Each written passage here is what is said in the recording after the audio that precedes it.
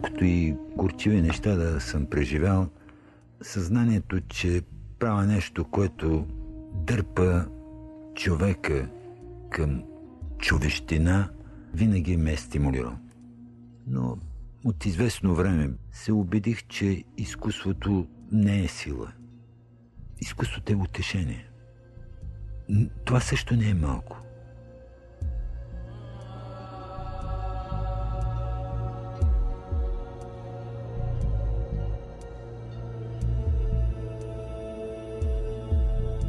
Нашия много често пошло ежедневие, пошло съществувание, изкуството е утешение.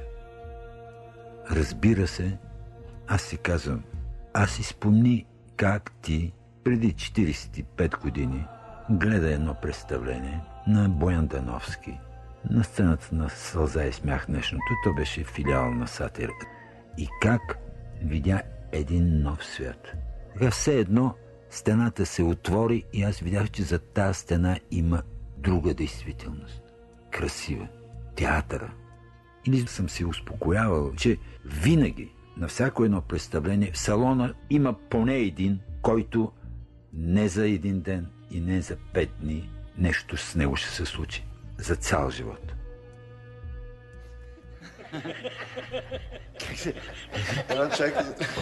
С преди време Костадин Гаврилич тук отрепа една чайка. И вие ми казахте да я препарирам. Да. Така ли? Еми да. Не си спомням. Как така? Майка, на гларусите, на чайките, а, не се бойте. Не се страхувайте. Просто само гледате ги. А чак като стане тази работа и само ти виждаш това, тогава вече почваш да се пазиш и ти. Какво става тук? Какво правите? Хайде.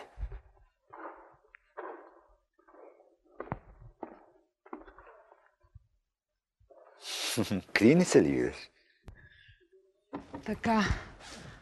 Да, вершинини не трябва да ги пускаме да си ходят. Момиченцата да остана да спът в гостната. Александър Игнатич долу при барона. Федотик също при барона или не, той по-добре да остане да спи в салона.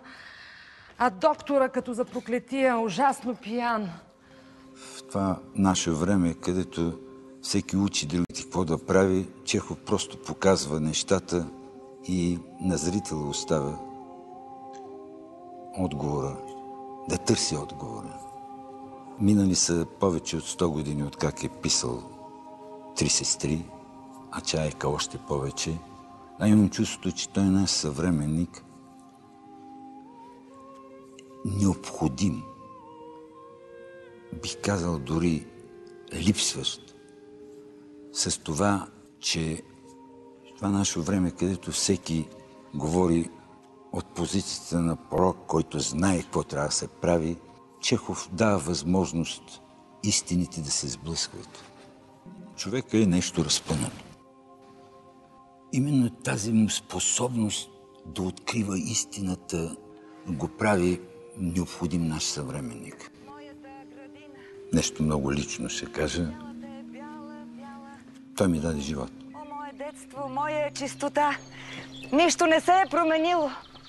И тогава тя беше същата. Птици пеят, въздух божествен.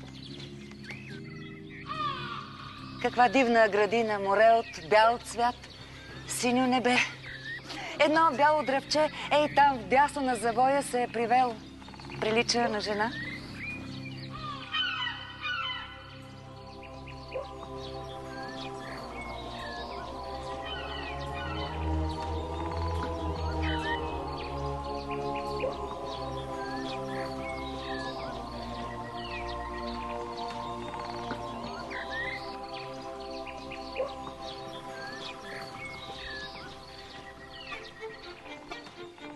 Бях млада журналистка в Вестник Народна младеж и имахме там една рубрика Предизвикани диалози. И на мен ми възложиха да измисля някакви двама души, които да си говорят. Аз бях гледала, току-що беше излязъл филма Всички и никой по романа на Йордан Радичков.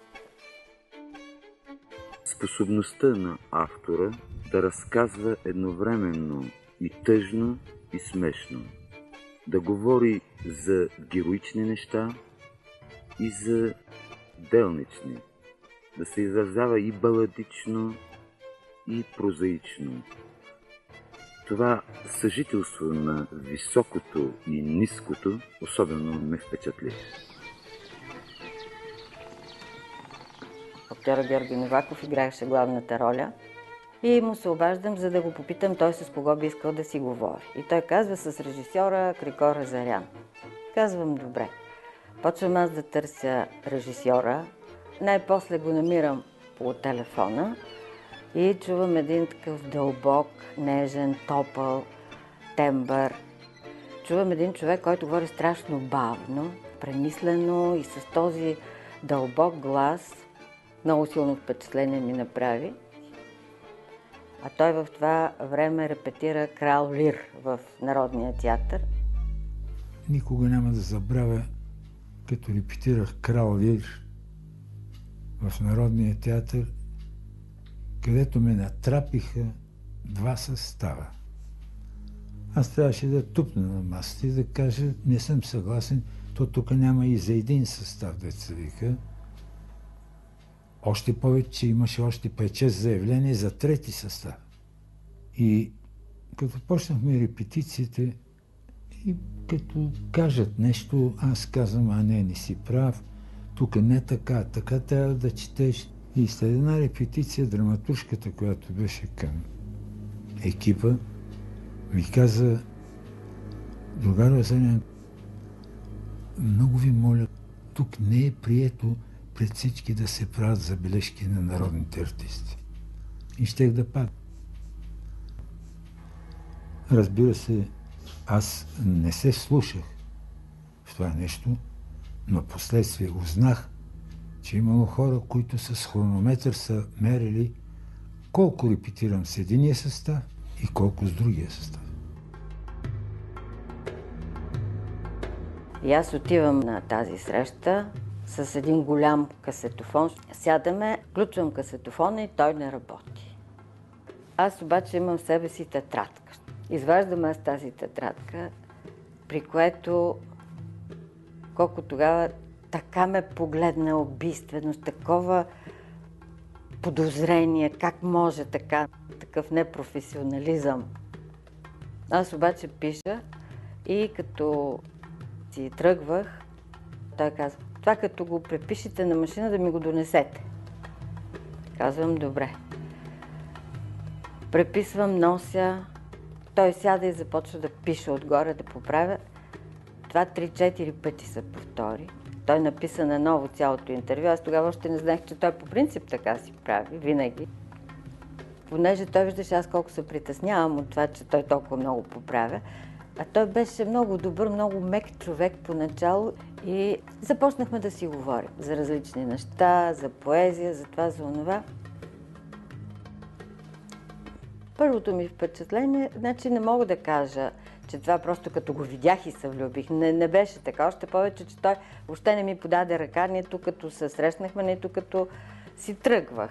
След много време, когато го попитах, защо така не ми подаде ръка, и той каза, защото една журналистка два-три дена преди тебе, като й подадох ръка и тя я тръска, тръска и не я пуска ръката ми. И затова казах, аз реших на журналисти ръка да не подавам. Един слаб човек с къдрава, къдрава, къдрава отзад коса и с проницателен поглед. Въобще тия негови арменски очи, хем тъжни, хем дълбоки, хем хилядолетни, хем изучаващи те, това беше първият човек в моя живот, когато аз видях да мисли, да говори бавно, да подбира думите. И лека по лека, докато той си преписваше напрекъснато интервюто, се заговорихме за различни неща. Стана ни интересно един с друг и тогава вече памнаха някакви искри.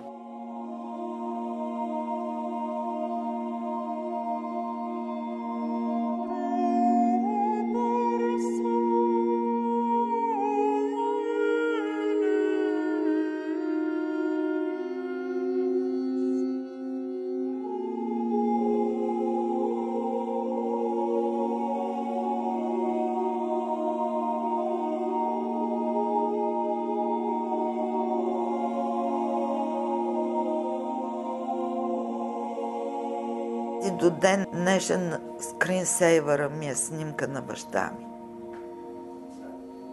Насякъде имам в стаята, тук има снимка на баща ми.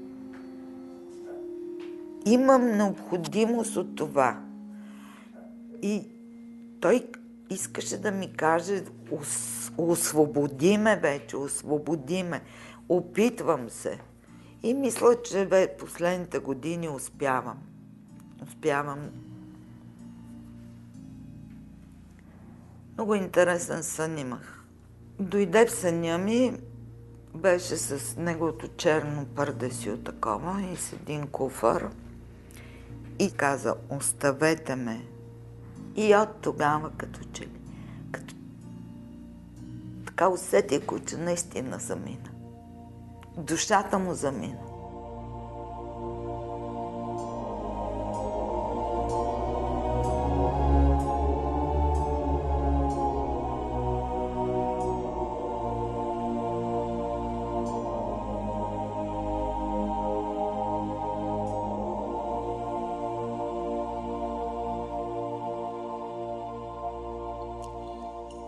Пътя ми към театъра е започнал от тук, от тази сцена.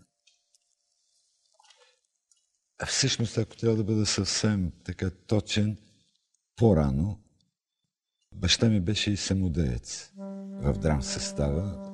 Беше много запален любител и бих казал и много талантлив. И като им трябваше някакво дете за роля на момче, малко ме взимаха. И аз бях се качвал на сцената. Тази сцена изглеждаше огромна в моите представи. Мен не ме привличаше театъра. Сега, нали, всички деца мечтаят нещо да станат. Това, което съм искал, сега срам ме е да призная, но да стана поет, писател. И пишехме стихове. Аз така с... намерих скоро едно-две стихотворения от това време, беше ми просто неудобно да ги чета. Можеше да станеш страхотен писател. Малко хора знаят, че си писал стихотворения и дори си организирал литературен кръжок, заради който даже са те арестували. И това е друга история.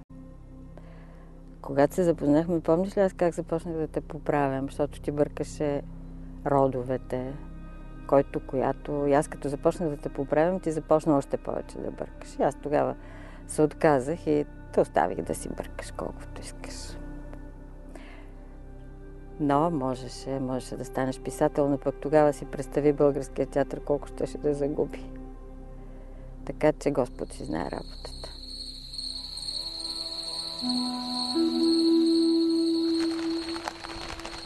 Като ученик в първа мъжка, заедно с Жоро Слона учихме там. Непрекъснато ме изключваха за разни работи. Бях доста лудо момче.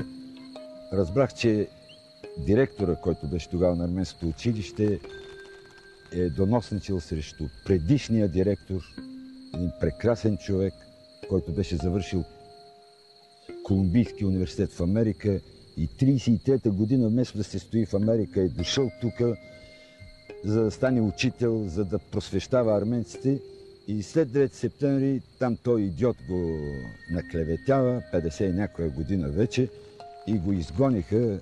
Така се чувствах виновен по някакъв начин, че никой нищо не прави. Отидах и написах едни лозунги. Да, обаче се разбрали сигурно от почерка ми и ми изгониха от гимназията. Без право да уча вече. Всеки ден виждах мой директор с едни дочени сини дрехи, поизбелели, да се връща от работа.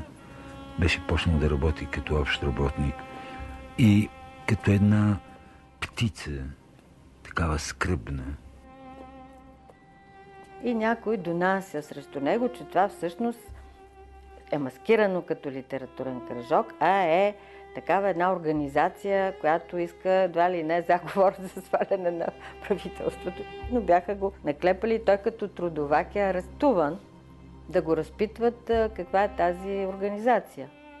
Една театроведка има нахалството, преди 10 години може би, да напише някъде, че Азарян е бил доносник.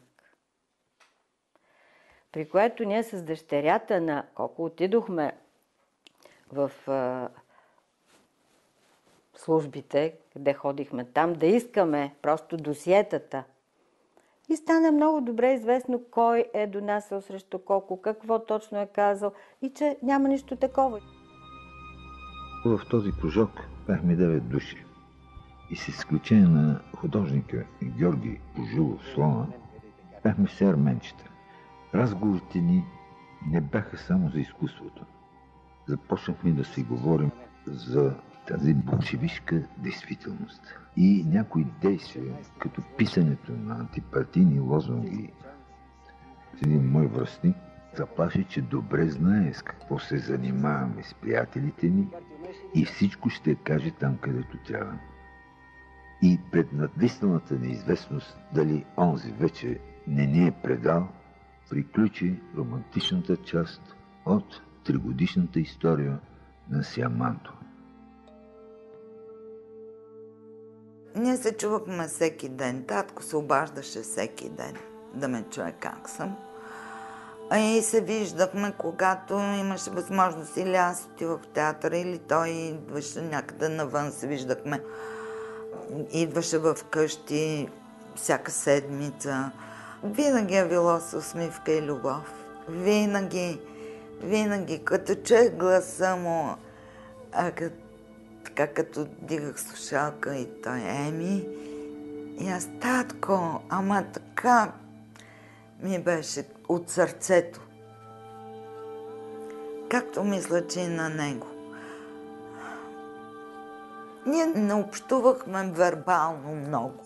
Е, така седиме и си мълчим. Можеш часове да си мълчим. Но в контакт вътрешно някак си усещах общуването ни. И тези моменти са ми много интимни, много скъпи. Спомените ми от най-най-ранната възраст са как той ходеше в вечерно училище. Точно когато този период изключен от без право. Те са били и доста луди глави, вършили са невероятни пакости. Татко си спомня за промяната, която настъпва в Пловдив 44-48 година. Враговете на народа, дето ги вижда как ги арестуват. Откритите съдебни процеси. В същото време той пише лозунги, всички тия неща, бунта, вътрешния бунт на тези млади, цялата им група, между които и Жоро Слона – те така са били, те от тогава им датира приятелството. И си казвам, в един такъв силно репресивен политически момент на едно общество, как то ражда антиреакция, толкова духовно наситен, активен живот на тези млади хора –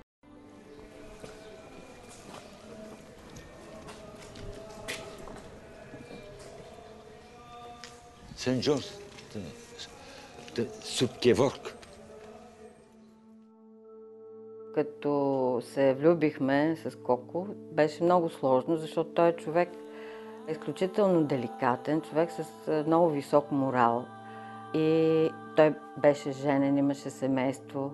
И от моя страна имаше някаква съпротива, и от негова. Той не искаше да нарани никого. И затова няколко пъти се разделяхме. Бях много по-млада от него. Той беше 17 години по-голям от мен. И аз в него виждах и любимия, и брата, и учителя, и бащата. Всичко, от което съм имала нужда. Цялата гама от мъжко присъствие, което ми е липсвало. Привличането ни беше непреодолимо. И чувствахме, че има нещо кармично, нещо предопределено. Трудно беше. Аз най-малко съм искала при живота си да разделям някакви хора, но не можеше да стане по друг начин. Една поредна наша раздяла бях избягала от София и бях отишла при една приятелка във Варна. Беше ходил до Сливен с колата и ми каза, като се закачих по стълбите и като застанах пред вратата и разбрах, че те няма, че не си там. Минах край Народния театър и гледах така към прозореца, където е кабинета му той застана на прозореца. И се видяхме и той ми махна и аз го изчаках да слезе и той каза, къде беше до сега, защо чак сега идваш? И тогава решихме, че няма смисъл да мъчим себе си, другите. Това е операция, но трябва да се извърши.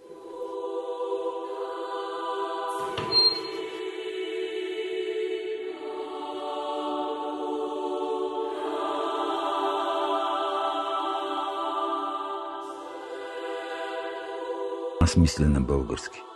Когато по-рядко ми се налага да говоря арменски, в, така, в съзнанието си превеждам от български на арменски. Това предполага, би казвам, че съм сигурен, че мисля на български. Но струва ми се по отношение на гените, на кръвта. Арменското е силно в мен. Това не създава противоречие или пък някаква комплицираност в мен. Напротив, чувствам добродетелите, чувствам качествата, хубавите неща на българина в много по, как да кажа, радост.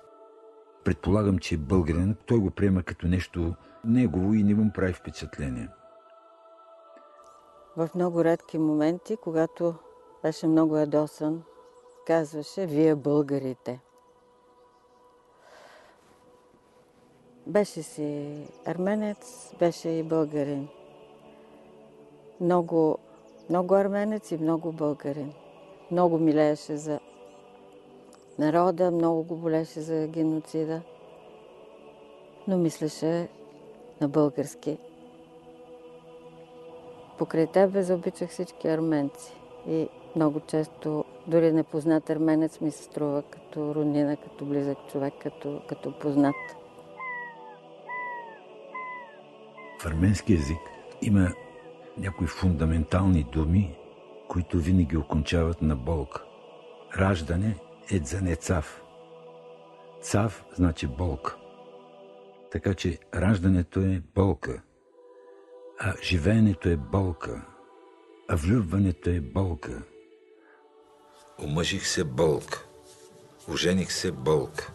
И само когато така, думата умрях, няма болк. Мерав. А иначе абре цав, дзане цав, амусна цав, сирахарве цав. Цав, цав. Странна мъдрост.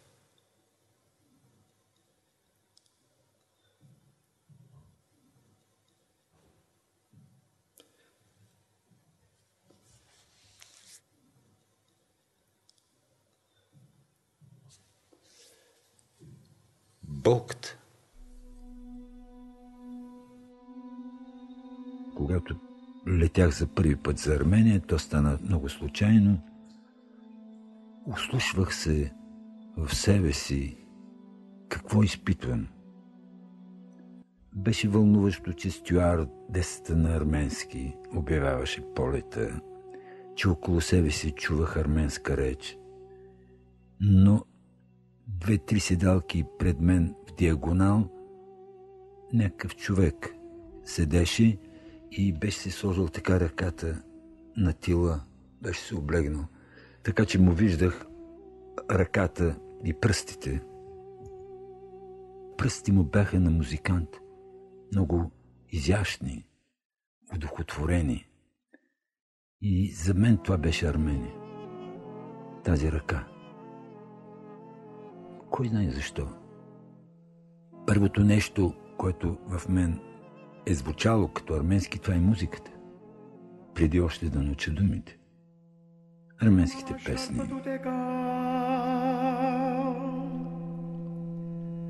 شتاقی هباش نزانی چه تسکودی داری بستون دی پونن башон назани.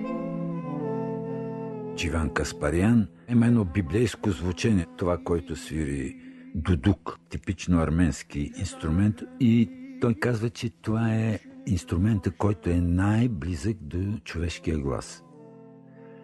Той е гордо мой връзник и когато го слушах в зала България, той свирише и по едно време почна да пее.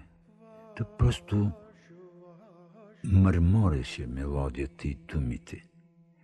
И това са старинни арменски песни, някои от които в детството ми майка ми, баба ми са пяли.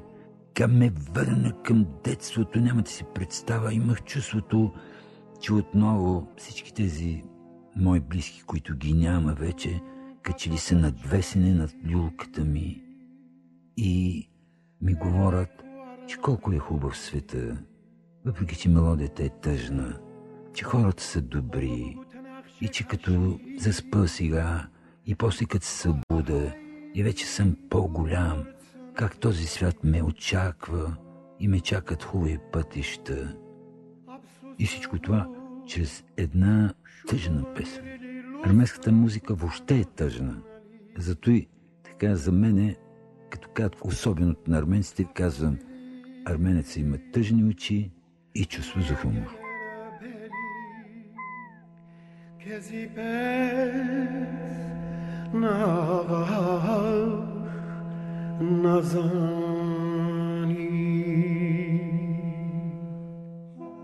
Тези дни пак намерих 4-5 диска с Дживан Каспарян. И това, което използва в спектаклите си, и си го пускам от време на време, да знаеш. Защото ми запълва една от големите празноти.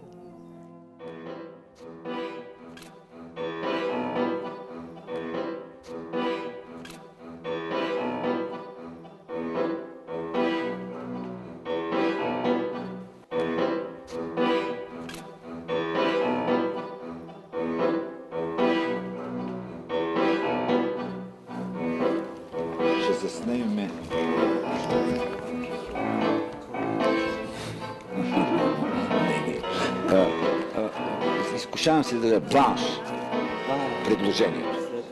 Да, и до финала. Тя говори с, за Хайде, дайте, дайте.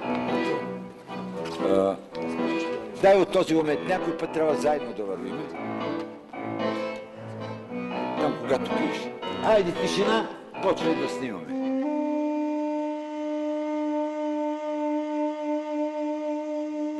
Ето това нещо винаги като магнит ни е привличало. Колко усилия сме полагали да вдигнем, да повдигнем този камък, за да видим какво има отдолу. Ние се мислехме, че като открехнем, нали, то камък, някаква тайна ще открием. Това е като в изкуството и в театъра. Аз зато и така си имам една тема за тайната, че за да ми хареса една пиеса или по-точно за да пристъпа към нея, нали, преди всичко така трябва да ми се види, че е истина. Смисъл, че автора не лъже. Ами е, ми е интересно да общувам с тези хора, да се търкалям и аз, заедно с тях в перипетите на живота им в пиесата, но последният тласък а, към пиесата, за да тръгна да я реализирам, получавам едва тогава, когато има нещо, което не разбирам. Така, всичко ми е интересно, истинско е, обаче има някаква тайна, нещо, което не разбирам. Процеса на репетициите, това е едно пътуване към разкриване на тайната. Аз съм сигурен, защото край краищата не съм толкова самовлюбен човек, сигурен съм, че аз си въобразявам, че ни откриваме тайната, вложена в пиесата. Но човек трябва да вярва. Трябва да вярва в смисъл на това, което прави. Не е важна истината. Важен е пътя към истината. Извървяването на пътя. Твоето решение в опит за летене в Перник. Поради техническа причина балона не можеше да лети. Измисли, че балона не лети, но заради незрящия си приятел всички се правят, че този балон лети и те му разказват какво се вижда. А Радичко в началото не беше съгласен. Казваше, ама колко, бе, той, той балон трябва да лети. Но после беше много щастлив, защото въображението беше полетяло. В ние години тогава Ереван беше най-красивия каменен град. Той е изграден от един червеникъв камък. Дув. Който, не знам как се нарича. Дув. Дув. Така. Той е има топъл цвят. Не е. Бледо-розов. такъв, Така, бледо, така. да. Има топли оттенъци. Това до някъде ми е помогнало по-късно, когато сме работили заедно в театъра, да разбирам а, до някъде твоя характер. Него съм стазирал и нещо от арменската земя. Нещо каменно и много мечтателно. Винаги съм вярвал в това, което правиш в театъра и винаги съм- знаел, че ти носиш в себе си нещо праставро, много езическо, не знам, и в известна степен суеверно. Каквато и група хора да поведеш, ти мислено в себе си или ти имаш едно на ум, че вие пътувате за планината Арарат.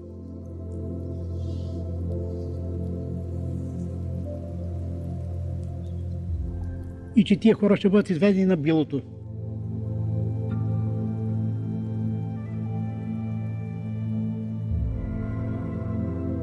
Колкото и да звучи така нескромно и предизвикателно, бих казал, че съм щастлив. Щастлив не за друго, а за това, защото живея с чувството, че съм необходим. Това е най-важното. Необходим на семейството, на роднини, близки, приятели и колеги, и студенти, което никак не е важно. Значи, те имат нужда от мене, аз значи съм полезен. Това е невероятен, а, как да кажа, това е решаващо за това дали човек се чувства удовлетворен и щастлив или не.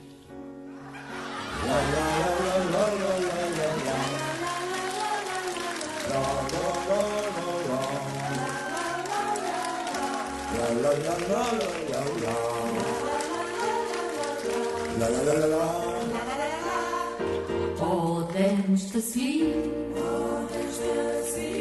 о, ден щастлив, мен той видя, мен той видя, той в мен. Да употребя израза на Максим Горки, моите университети. Най-ме приземи университета в казармата. Трудов редник. Там видях, че така живота е, както в Царо беше казал, лапа чиличена. А университета, който най-ме извеси, това е надпис Витис тогава. Започнах да ръковода един художествен състав в Петър Ченгелов завода, който стана лауреат на Републиканския фестивал. Бог да го простира, Дой Ралин беше председател и директора ме извика, каза, вижте, вие направихте много за нашия завод, лауреати, трябва да ви намерим една по-спокойна работа, за да може по-пълноценно да ръководите състава. И ме направиха нормировчик. И по да правя, взех хронометъра, имаше машини с ножови кълъпи, режеха подметките, гьона. Те ме погледнаха така, ковачите, какво става ми нормито? И добре, казах, хайде, сечи. И когато отидах и казах на шефа, направих нормата, колко толкова. Благодарение на те моите норми, ковачите и шлосерите започнаха да получават едни заплати по-големи от директора. Наказаха шефа на нормировците, защото се оказа, че чак в градския комитет се занимавали какви са те норми. Спомена ми за баща ми винаги е свързан с празник, светлина. Аз постъпих в първи клас в арменското училище, а татко беше прият режисура в Витис и дойде в София. И сме се виждали между сесиите и така от време на време. И всъщност едва след като получи разпределението си за Пловдивския театър, до тогава спомените ми от баща ми са били така като човека, който им е много заед. Много заед някъде с нещо. Но това са били много хубави години. Аз не съм усещала липсата му. А Шарлота е щастлива. Пее си. Отвива. Уа! Уа!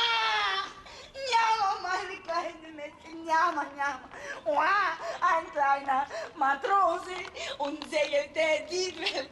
Уа! Уа! Няма, няма, няма. Шарлота, бебето, което дудка, е всъщност кукла. Обаче той е завито в някакъв парцал. Ние ще направим така, че той да бъде дублиран. Да. Ще обезглавим втората. Така че когато ти хвърляш куклата, да се, отка... да се откъсне главичката.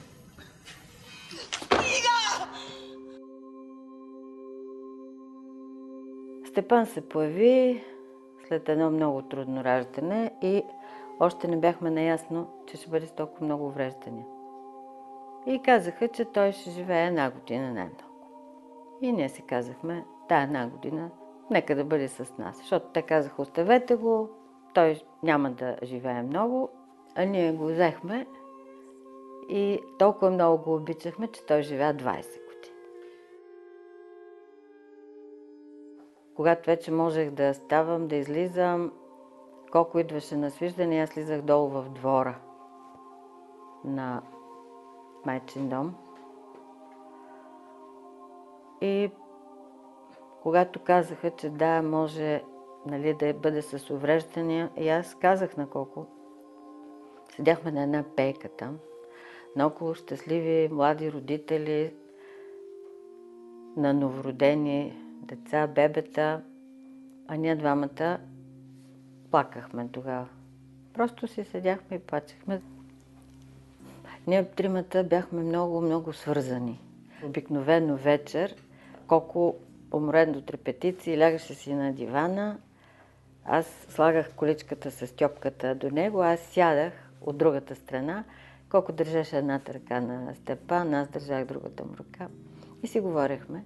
И тримата бяхме много щастливи. И веднъж колко каза, може би тези години ще се окажат най-хубавите в нашия живот. И то се оказа. Когато нашето дете умираше в правителствена болница, започна да умира призори.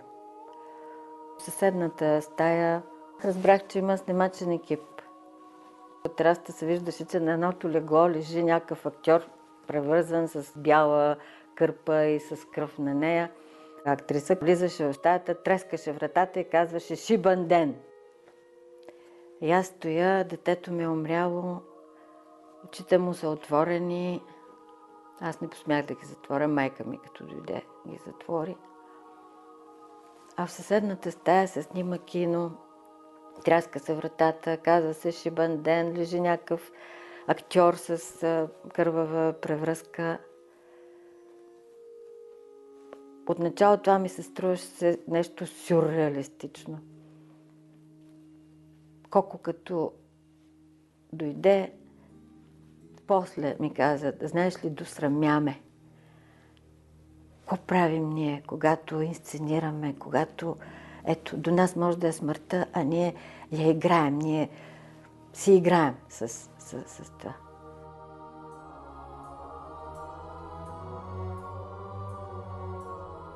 Адио. Ами ни слав ръка. Мерси. Норен дес на винк в кара. Хайде.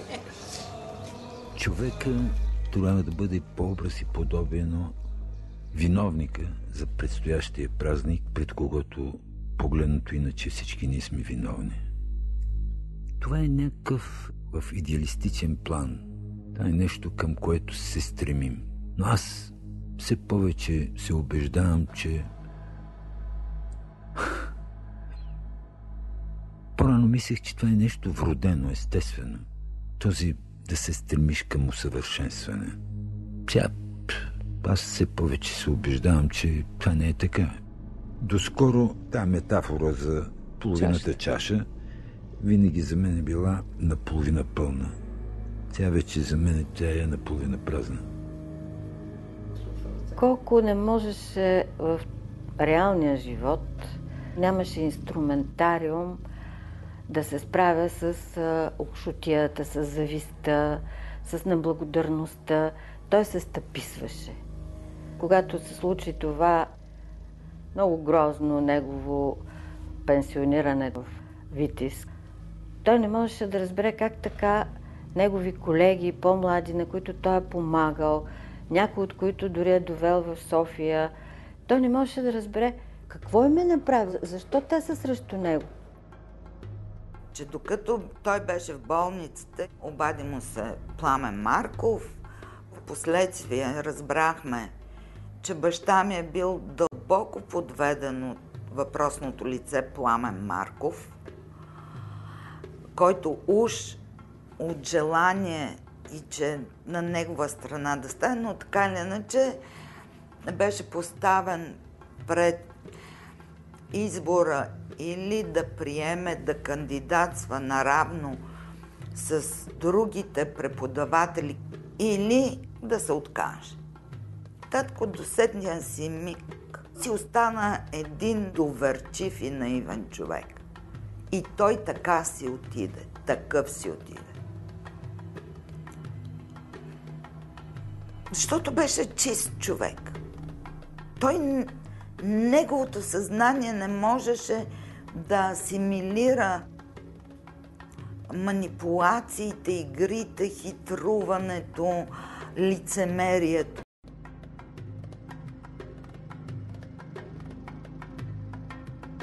И колко се разболя, естествено се разчу. Беше ясно защо го правят, защото един от тях беше го формулирал.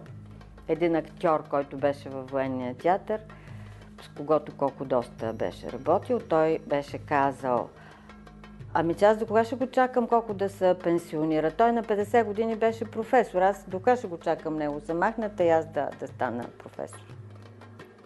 На академичен съвет те не гласуват професор Азарян да вземе актьорски клас. А да не говоря, че един от най-близките му приятели точно на това съвещание беше гласувал въздържал се. Целта била той да бъде премахнат, да не му се даде клас, за да могат следващите, младите, да поемат Атанас Атанасов и Ивайло Христов. От асистенти станаха преподаватели, естествено и Пламен Марков. Много грозна история. И той излезе с едно пепеляво лице и абсолютно същисан. Не можейки да повярва, че това се е случило. На такъв човек, на него му спретнаха предумишлено убийство. За мен това е най-гадната, най-мръсната форма на такова психическо убийство на, на човек. И съм абсолютно убедена, че тази ужасна постъпка тласна заболяването му напред. Дори извика студентите, защото те полудяха. Тези деца не можаха да си вземат дипломите. Ректора Семерджиев ги, като наказание ги лиши, защото те дигнаха стачка в защита на своя професор. Чочо Попи Орденов се канеше да запали надфис, Витис. Подписка се събираше, протестираха. И накрая, да, накрая като трябваше да завършат, те не си получиха дипломите, защото протестиращи. Но това беше едно утешение, защото той видя, че зад него има стена от хора, които наистина го ценят. Аз помня дори, че толкова беше се разраснал този скандал, че дори на улицата веднъж една жена го спря, стисна му ръката и каза, господин Зрян, не се отчаивайте, ние сме с вас, да знаете, те не постъпват правилно, не се предавайте. На някои колеги от академията където ми мина живота, трудно ми е. Не, че не е въпрос за прощаване, просто не проумявам, не ги проумявам. Защо постъпиха така? Преди пет години те ми казаха, че аз вече поради възрастта, поради болестта, не мога да, да бъда полезен на студенти. Ректора казваме, той каза, няма вече тази физическа възможност. А моя колега, да не му кажа името, беше казал на моите студенти, вие какво искате до 80 години ли да преподава? И това го каза на моите студенти. Така че, абе, има, деца вика, манието.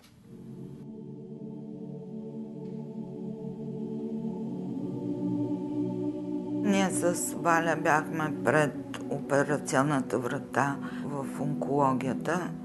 Беше зловеща гледка, когато го изнесаха на носилка и казаха, че операцията е успешна.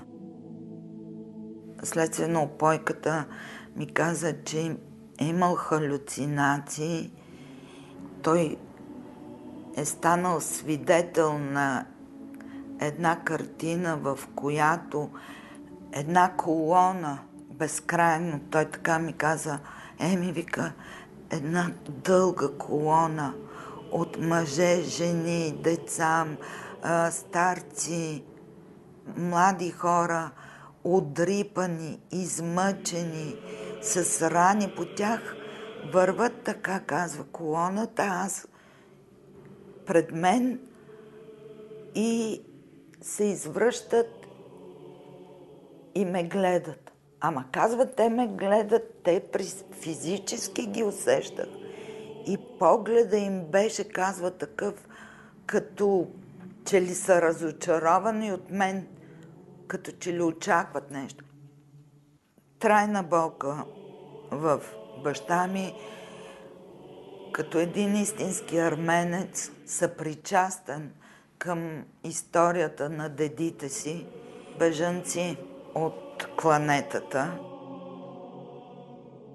Когато ставаше дума, че той не може да работи, когато тая болест посягаше върху възможността му да работи, тук той се изправи като един изполин просто. Аз бях смаяна, наблюдавайки тя метаморфози у него. Та той дори избяга от една от операциите, защото каза, а не, не. Аз може да умра и няма да има кой да ми довърши постановката. Образно си представям, че човешкият живот е едно изкачване и слизане. И когато си минал върха, оттам нататък слизането става по-бързо. Помня, че някой се обади по телефона, вече много накрая, и питаше как е, как е Коко, как е караш Коко. И каза, ами, само една душа, един дух е останал от мене, като един дим, който се извива от комина на някаква малка бедна къщичка. Много имаше още този дух и тази душа. На финала, в целия емоционален такъв, взимат багажи, той вид, нали? И накрая има едно такова нервно, всички тръгват, остава тренерския Гаев, плачат, прегръщат се, сестро, сестро, а не вика и в, така се каже, в едва ли не, като емигранти, които тичат да хванат влака, за да заминат. А, и естествено той забравя кончето. И вече няма нищо, само едно конче им пред къщата. С тяхното тръгване колите тръгват и стената, която е била, където е вратата, която е закована и зад която фир се, идва в средата. Фирс се появява. Заедно с появяването на Фирс, от една страна Фирс се появява, за да отиде да към вратата и вижда, че е заключено, а в това време се появява отпред детето, което отива към кончето.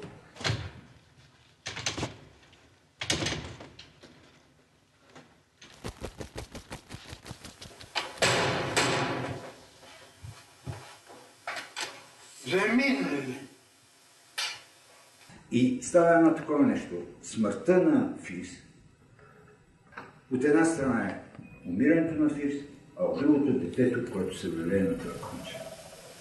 Загубеняк.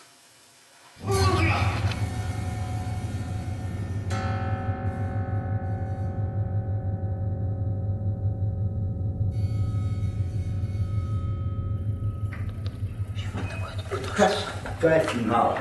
Ами, това е живота.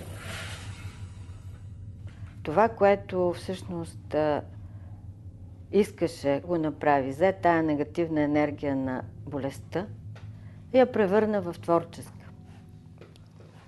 Взе силата, изяде, така да се каже, тази енергия и а, я превърна в сила, за да може да си направи спектаклите.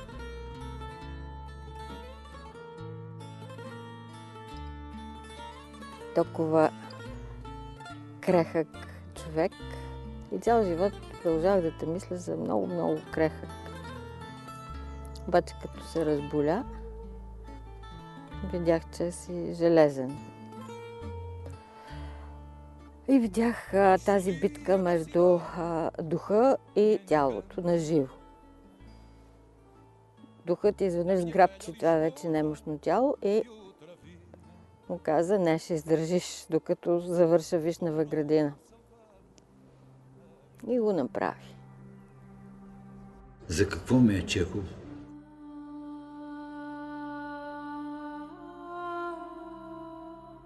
Ами, защото е студено. В момента, в който излезе премиерата на Вишнева градина в Народния театър, ние се прибрахме тук. Коко дойде, седна, както беше облечен на дивана. То беше 31 октомври и каза, е, това беше. И буквално се срина. И след месец и половина си отиде.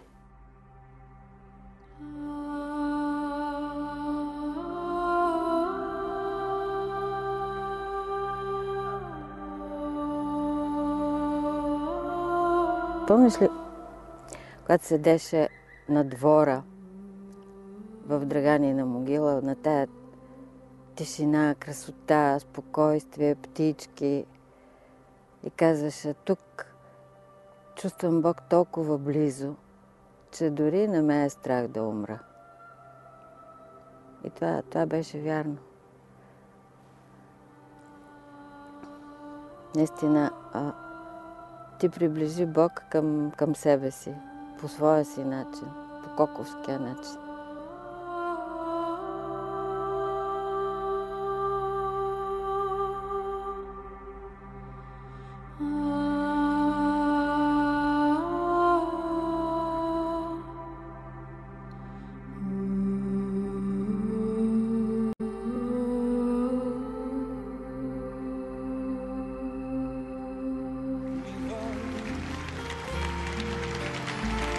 Na alma deste fado sempre vi cresce um canto cristalino sem idade. Mas na alma deste fado sempre vi cresce um canto cristalino sem idade. É por isso que imagino em liberdade. Uma gaivota que voa, renascida. E já nada me magoa ou desencanta. nas ruas desta cidade amanhecida, mas com um nó de saudade na garganta. Escuto um fado que se entoa à despedida